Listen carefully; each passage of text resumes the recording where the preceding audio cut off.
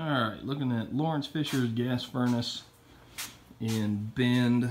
We are the ones that installed the Goodman AC. Looking at doing a Goodman furnace as well. Um, furnace wise, it'll fit right in there. It's the same measurements. He's got a unit heater right in front of it that has got a little bit of give to work with, but it's a little tight. Um, don't have to do anything down here. It's 21 inches deep, 17 wide.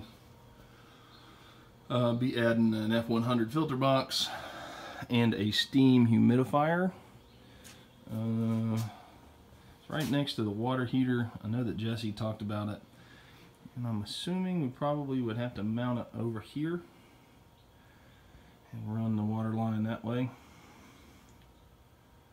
Uh, but I've really only done one steam humidifier, so I'm not sure if we'll be looking at that side or up above it, if that would be better.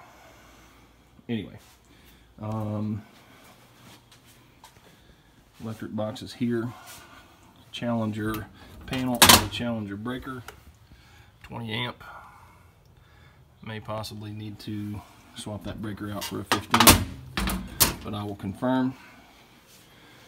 Um, Lawrence is a home owns a home automation company, so he's got his thermostat and everything taken care of uh, that he'll handle. So the only thing we're doing is replacing the furnace, adding the humidifier, and the filter box. Looking at a one-day install for Lawrence Fisher in Bend.